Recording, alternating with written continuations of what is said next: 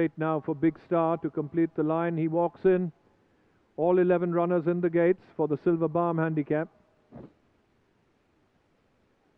And they're off and racing. Fairly level break by all 11 as they settle down. Sure Force, just the leader there.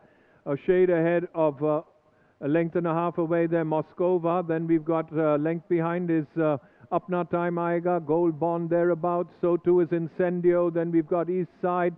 Two and a half away is Aggression, followed there by uh, Glorious Leaps, and along there with Oak Brook.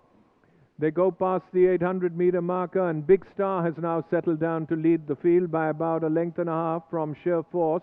Moskova, the favorite, is very prominent in third. A length and a half away then is Apna Time Aiga. Length behind Apna Time Aiga, there's East Side.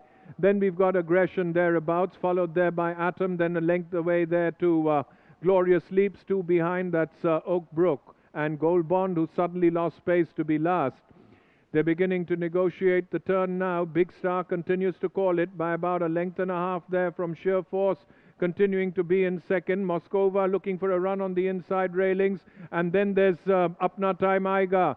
But as they straighten for the final run in, Big Star still traveling handily in front, shifting off a straight course, but is still about two and a half, three, four lengths clear with about 100 to go. And uh, Big Star is going to win this one very, very convincingly from Apna Time Aiga in second. Then comes uh, Atom and uh, uh, Oak on the outside, finishing up third and fourth.